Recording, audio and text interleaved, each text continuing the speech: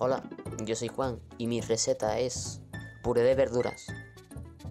Los ingredientes son zanahorias, puerros, cebolla, calabacín, tomate, patatas, orégano, tomillo, perejil, cominos, sal, agua y aceite de olivo.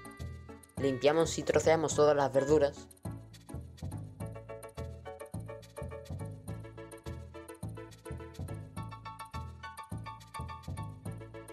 Vertemos todo en una olla, condimentamos,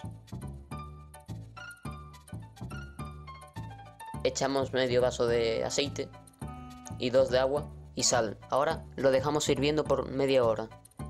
Lo dejamos enfriar todo y luego lo batimos. Y ya está.